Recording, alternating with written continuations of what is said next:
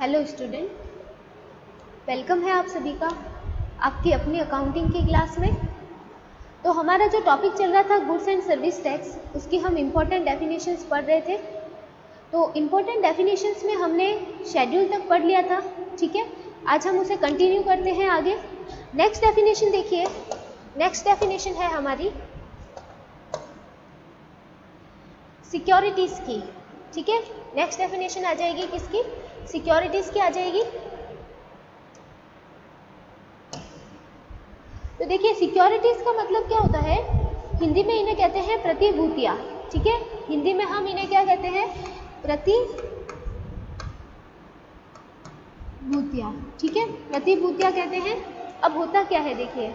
Security shall have the same meaning as assigned to it in the clause H of the section 2 of the securities contract securities contract regulation act 1956 तो security की वही definition है जो कि securities contract और regulation act 1956 के अंदर जो लिखी हुई डेफिनेशन है, वो ही डेफिनेशन यहाँ पे मानी जाएगी, ठीक है? प्रतिभूतियों में जो डेफिनेशन अब तक हमने पढ़ी है सिक्योरिटीज कॉन्ट्रैक्ट रेगुलेशन एक्ट के अकॉर्डिंग वो ही यहाँ पे जीएसटी एक्ट के अंदर मानी गई है, ठीक है? ये यहाँ पे कहने का तात्पर्य है। फिर बात करते हैं आगे। अगर हिंदी में सुनना चाहे तो प्रतिभूतियों का अर्थ उसी रूप में होगा, जो इसे प्रतिभूति संविदा अधिनियम 1956 की धारा के खंड एच में दे रखा है, ठीक है? धारा दो का जो खंड एच है क्लॉज एच उसके अंदर जो बताया गया है, वो ही होगा, ठीक है? फिर बात करते हैं नेक्स्ट डेफिनेशन की। नेक्स्ट डेफिनेशन देखिए। नेक्स्ट है हमारे सामने सर्विस की, ठीक है? जिन्हें हम क्या कह सकते हैं? सेवाएँ। तो सेवाएँ क्या होता है, वो अभी हम देखते हैं। हिंदी में कहा जाएगा सेवाएँ।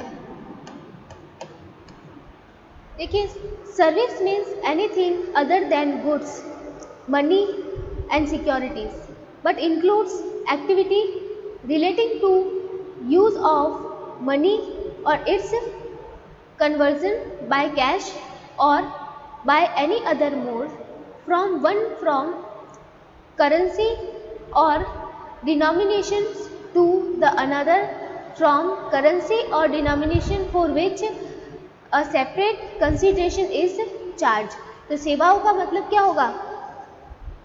सेवाओं से आशय, माल, धन या प्रतिभूतियों से भिन्न ऐसी चीज़ से है। किंतु इसमें धन का उपयोग नकद या किसी अन्य रीति से एक करेंसी या अंकित मूल्य का, किसी अन्य रूप करेंसी या अंकित मूल्य में उसका ऐसा परिवर्तन जिसके लिए पृथक से परिवर्तन प्रतिफल हो, सम्मिलित है उससे संबंधित क्रियाकलाप भी सारे इसके अंदर सम्मिलित हैं। ये था हिंदी में। तो हम इसे जनरल लैंग्वेज में देखें तो सर्विस का मतलब कोई भी ऐसा आ, काम या कोई भी ऐसा हम कह सकते हैं जो कि क्या नहीं हो जो कि गुड्स नहीं हो ठीक है? जो कि गुड्स नहीं हो मनी नहीं हो सिक्योरिटीज नहीं हो ठीक है? लेकिन इसके अंदर कौन सी एक्टिविटी आ जाती है? एक्टिविटी आ जाती है यूज़ ऑफ़ मनी की, ठीक है? मनी यूज़ करने की और इट्स कन्वर्जन और इसको बदलने की, ठीक है? बाय कैश और by any other mode from one from currency और डिनोमिनेशन मतलब इसके अंदर क्या क्या नहीं आते हैं? इसके अंदर गुड्स मनी और सिक्योरिटीज नहीं आते हैं। लेकिन इसके अंदर कौन सी एक्टिविटी आती है? मनी और उसको बदलने की जो भी प्रक्रिया है, चाहे हम उसे कैश में बदलें, चाहे हम उसे अदर करेंसी या अदर डिनोमिनेशंस में बदलें तो ये जो प्रोसेस है, ये जो एक्टिविटीज़ है, वो इसके अंदर आ जाती है, लेकिन इसके अंदर गुड्स मनी और सिक्योरिटीज़ नहीं आती है। ठीक है? ये यहाँ पे आपको बताया गया है। तो सर्विस का मतलब ये होगा कि सर्विस का मतलब जिसमें गुड्स मनी और सिक्योरिटीज़ के अलावा बाकी सारी एक्टिविटी चाहे वो मनी या फिर उसके कन्वर्जन से रिलेटेड हो, चाहे कैश में या फिर किसी अदर करेंसी में या किसी भी डिनोमिनेशन में कन्वर्जन का हो, ठीक है? वो एक्टिविटी भी इसी के अंदर आ जाती है, ठीक है? फिर बात करते हैं हम नेक्स्ट डेफिनेशन की। नेक्स्ट डेफिनेशन देखिए। नेक्स्ट डेफिनेशन है आपके सामने स्टेट की, ठीक है? स्टेट स्टेट का मतलब क्या होता है? राज्य। स्टेट का मतलब क्या होगा? राज्य। ठीक है? तो राज्य का मतलब क्या है? State includes a union territory with legislature ठीक है? तो ऐसा कोई भी स्टेट या ऐसा कोई भी क्षेत्र, ठीक है, जिसका क्या हो? कोई विधानसभा हो, ठीक है, वो किसमें आ जाती है? राज्य की कैटेगरी के अंदर आ जाती है। ठीक है? तो स्टेट तो हमें पता ही है नॉर्मली जो हमारे स्टेट है, वो ही सारे यहाँ पे स्टेट है। ठीक है? अब देखिए नेक्स्ट बात करते हैं स्टेट टैक्स की। जिसे हम क्या कहते हैं? राज्य कर कहते हैं। इसे हम कहेंगे राज्य कर। तो राज्य कर का मतलब क्या होगा? State tax means the tax levied under any state goods and service tax act, ठीक है? जो एस जी एस टी होता है ना एस जी एस टी ठीक है? तो ऐसा कोई भी टैक्स जो कि किसके अंडर में चार्ज किया गया हो S G S T act के अंदर में चार्ज किया गया हो, ठीक है? S G S T act क्या है? State goods and service tax ठीक है? तो state goods and service tax के अंडर अगर कोई टैक्स लगा है तो वो टैक्स आपके क्या कहलाएगा? स्टेट टैक्स कहलाएगा, ठीक है? तो यहाँ पे स्टेट टैक्स का ये मतलब होगा। फिर बात करते हैं नेक्स्ट डेफिनेशन की। नेक्स्ट डेफिनेशन देखिए किसकी आती है?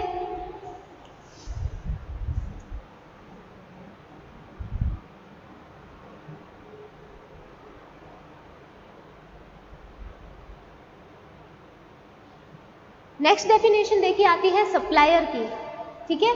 तो सप्लायर का मतलब क्या होता है? पूर्तिकर्ता, जिसे हिंदी में हम क्या कहते हैं? पूर्तिकर्ता कहते हैं।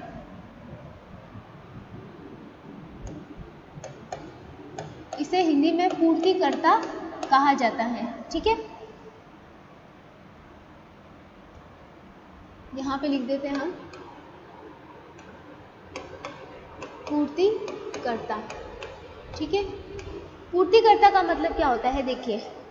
Supplier in relation to any goods और सर्विस और बोथ शैल में shall mean the person supplying the said goods और सर्विस और both and shall include an agent acting as such on behalf of such supplier in relation to the goods or service or both supplied तो देखिए supplier के अंदर कोई भी ऐसा person आ जाता है जो क्या करता है, किसी भी गुड्स या फिर किसी भी सर्विस या फिर दोनों का क्या करता है सप्लाई करता है।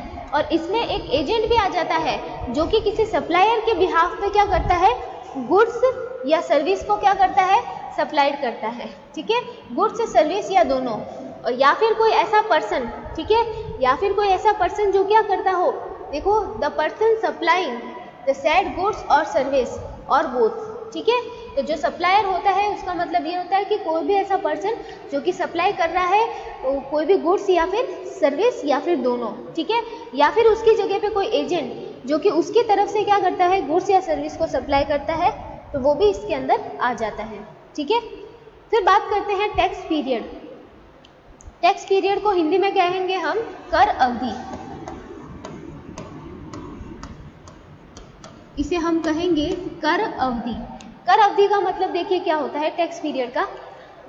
Tax period means the period for which the return is required to be furnish तो टैक्स पीरियड का मतलब वो उस टाइम पीरियड से होगा जिस टाइम पीरियड में आपका जो जीएसटी रिटर्न है.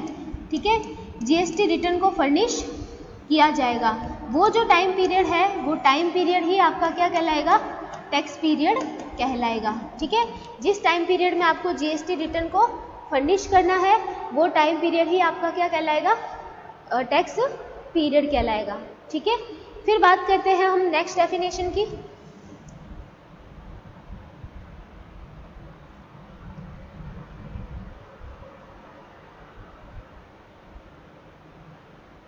नेक्स्ट डेफिनेशन आती है हमारे सामने टैक्सेबल पर्सन टैक्सेबल पर्सन का मतलब क्या होगा? कर योग्य व्यक्ति. ऐसा कोई भी पर्सन जिस पे क्या लगने वाला है? टैक्स लगने वाला है. ठीक है? इसे हम कहेंगे कर योग्य व्यक्ति. जिस पर क्या लगना चाहिए? कर लगना चाहिए या जिसे कर देना जिसको कर देने के लिए जो क्या है? लाइबल है. ठीक है? तो देखिए A taxable person means a person who is registered or liable to be a registered under section 22 or under section 24. Section 24 और सेक्शन 22 के अंदर कोई भी ऐसा रजिस्टर्ड पर्सन जिसको कि इस एक्ट के अंदर कोई भी टैक्स देना क्या है, उसकी लाइबिलिटी है तो वो पर्सन क्या कहलाता है? टैक्सेबल पर्सन कहलाता है। ठीक है? समझ में आ रहा है क्लियर ठीक है? फिर चलते हैं नेक्स्ट टैक्सेबल सप्लाई की तरफ़। टैक्सेबल सप्लाई का मतलब क्या होगा? कर योग्य पूर्ति। टैक्सेबल सप्लाई का मतलब होगा कर योग्य पूर्ति। कर योग्य पूर्ति का मतलब क्या होगा? Taxable supply means a supply of goods और सर्विस या फिर दोनों, ठीक है? Which is liable to a tax under this act which is liable to tax under this act मतलब ऐसे कोई भी गुड्स की या फिर सर्विसेज़ की या दोनों की क्या है सप्लाई जिसका कि इस एक्ट के अंदर क्या हो टैक्स देने के लिए उत्तरदायी हो, ठीक है? ऐसी कोई भी सप्लाई जिसकी वजह से इस टैक्स के अंदर सॉरी इस एक्ट के अंदर कोई भी टैक्स बन रहा हो, वो जो सप्लाई होगी, वो सप्लाई आपकी क्या कहलाएगी? टैक्सेबल सप्लाई कहलाएगी, ठीक है? समझ में आ रहा है ये भी? तो कोई भी ऐसी सप्लाई या कोई भी ऐसी गुड्स की सर्विस की या दोनों की सप्लाई जिसको कि इस एक्ट के अंदर में, जिसमें टैक्स लगना है तो वो आपके टैक्सेबल सप्लाई कहलाएगी। ठीक है? फिर बात करते हैं नेक्स्ट डेफिनेशन की।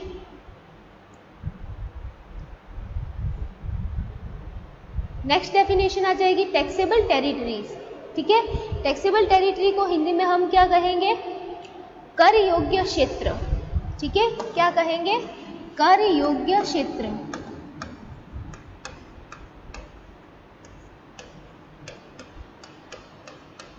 कर योग्य क्षेत्र की बात करें तो taxable territory means the territory to which the provision of this act apply तो टैक्सेबल टेरिटरी का मतलब कोई भी ऐसे टेरिटरी या कोई भी ऐसे क्षेत्र से है, ठीक है? जिसके प्रोविज़न जो है, इस एक्ट के प्रोविज़न उसके ऊपर अप्लाई होते हो, ठीक है? जिस पर जीएसटी एक्ट के जो प्रोविज़न है, वो क्या होते हो? अप्लाई होते हो वो एरिया वो क्षेत्र, ठीक है? वो वाला क्या कह सकते हैं हम? एरिया कह सकते हैं। वो एरिया क्या कहलाएगा? आपके टैक्सेबल टेरिटरी कहलाएगा, ठीक है? अब बात करते हैं हम नेक्स्ट नेक्स्ट आ जाता है टेली कम्युनिकेशन सर्विसेज़ नेक्स्ट क्या आएगा आपके? टेली कम्युनिकेशन सर्विस देखिए टेली कम्युनिकेशन सर्विस को हम हिंदी में क्या कहते हैं? दूर संचार सेवाएँ। क्या कहते हैं? दूर संचार सेवाएँ। ठीक है? दूर संचार सेवाएँ, इसका मतलब क्या होता है? It means service of any description ठीक है? It means service of any description जिसके अंदर क्या आता है? इंक्लूडिंग इलेक्ट्रॉनिक मेल, जिसके अंदर इलेक्ट्रॉनिक मेल आता है, ठीक है? फिर क्या आता है? वॉइस मेल आता है, फिर क्या आता है? डेटा सर्विसेज़ आती है, फिर क्या आता है? ऑडियो टेक्स्ट सर्विसेज़ आ जाती है, और क्या आता है? वीडियो टेक्स्ट आ जाता है, फिर फिर हम बात करें तो क्या आ जाते हैं? वीडियो टेक्स्ट सर्विस फिर रेडियो रेडियो पेइंग एंड फिर और आ जाता है सेलुलर मोबाइल टेलीफोन सर्विसेज़ ठीक है? विच आगे भी है?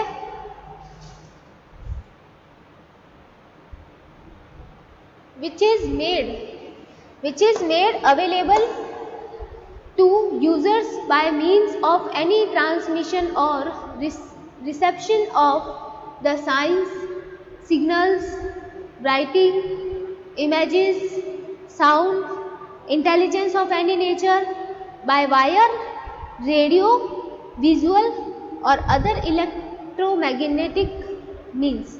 ठीक है? तो देखिए, यहाँ पे क्या बात की गई है? टेली कम्युनिकेशन सर्विसेज़ के अंदर, ठीक है? कोई भी ऐसी क्या आ जाती है? सर्विस आ जाती है या कोई भी ऐसी डिस्क्रिप्शन सर्विस ऑफ़ डिस्क्रिप्शन आ जाता है, ठीक है?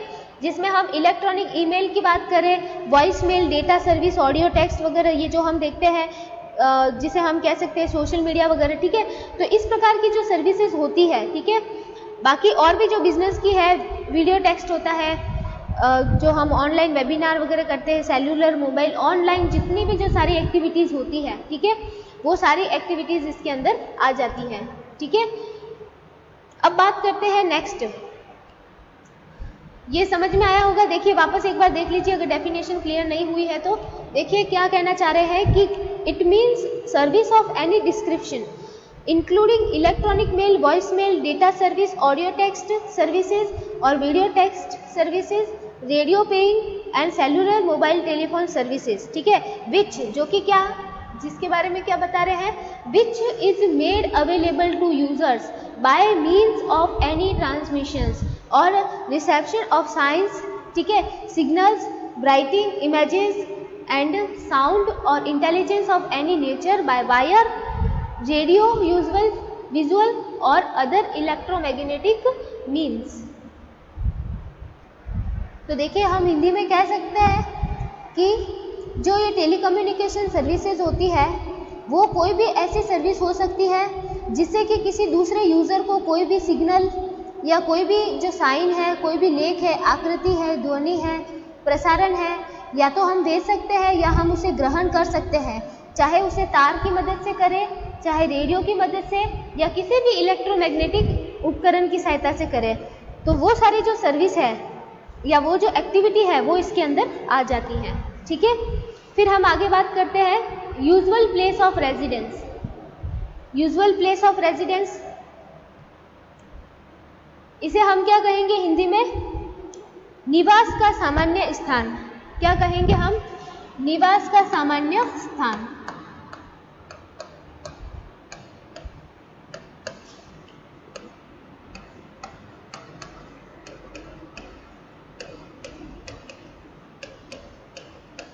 निवास का सामान्य स्थान।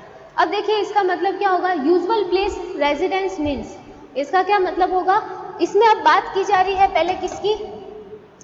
पहले बात की जा रही है इन केस ऑफ़ इंडिविजुअल ठीक है? एक व्यक्ति के संदर्भ में the place where he ordinary resides ठीक है? जहाँ पे वो रहता है।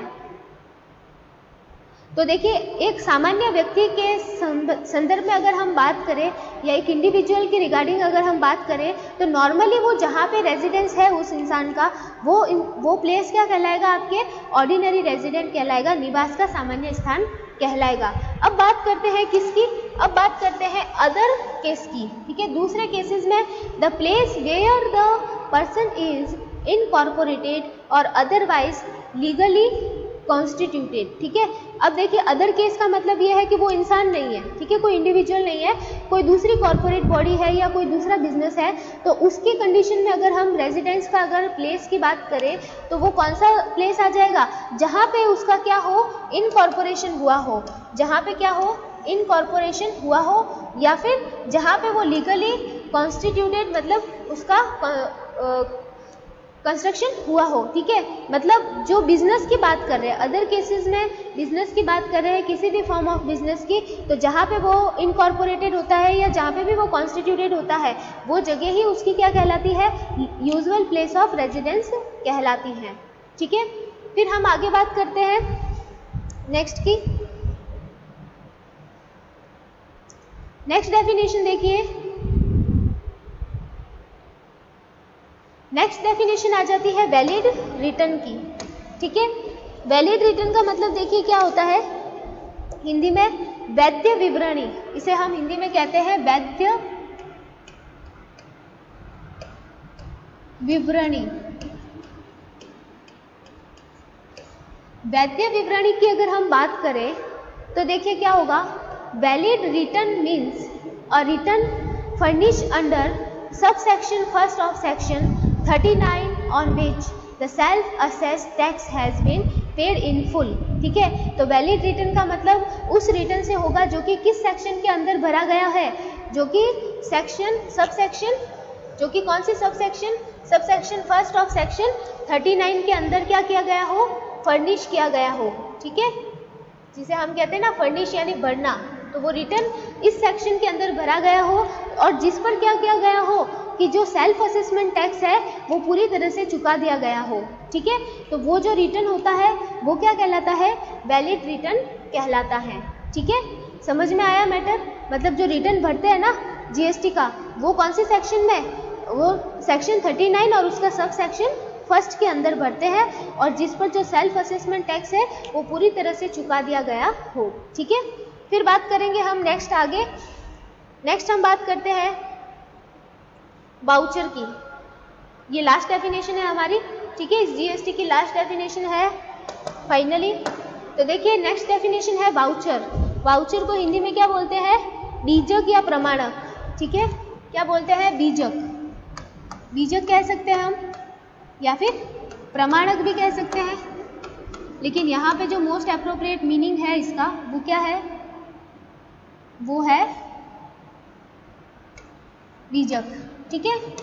तो देखिए वाउचर का मतलब क्या होता है? Voucher means an instrument where there is an obligation to accept it as a consideration और पार्ट और part of consideration for a supply of goods और सर्विसेज़ और both and where the goods और सर्विसेज़ और both to be both to be to be supplied और the identities of their ये their है ना? Identities of their potential supply suppliers are either indicated on the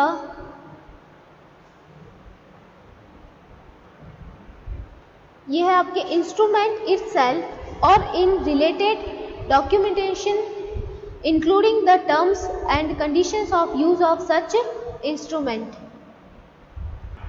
तो देखिए, हम अगर वाउचर की बात करें तो वाउचर एक ऐसा डॉक्यूमेंट होता है जो कि हम किसी गुड्स या सर्विस या फिर दोनों के, ठीक है, क्या करने के बदले में, उन्हें बेचने के बदले में, ठीक है, या उनकी सप्लाई करने के बदले में, हम उसे क्या करते हैं एक्सेप्ट करते हैं, ठीक है।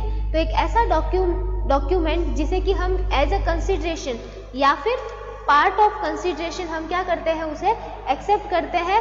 किसके बदले में? सप्लाई ऑफ़ गुड्स और सर्विस और बोथ ठीक है?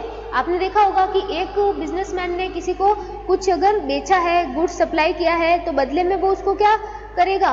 वाउचर लिख के देगा। ठीक है? उसके ऊपर क्या लिखा हुआ होता है? जिसको हमने सप्लाई किया है गुड्स रिसिपियंट जो होता है प्राप्त करता उसका नाम वगैरह भी लिखा होता है। ठीक है? तो ये एक तरह का क्या कह सकते हैं, हम डॉक्यूमेंट है जो एज ए कंसिडरेशन या पार्ट ऑफ़ कंसिडरेशन यूज़ आता है, ठीक है? ये एक तरह का इंस्ट्रूमेंट है जिसे यूज़ किया जाता है। समझ में आ गया? तो ये आपने पहले भी पढ़ा हुआ है इसके बारे में तो ठीक है? तो ये था आपका वाउचर और ये थी आपकी लास्ट डेफिनेशन जीएसटी की, ठीक है?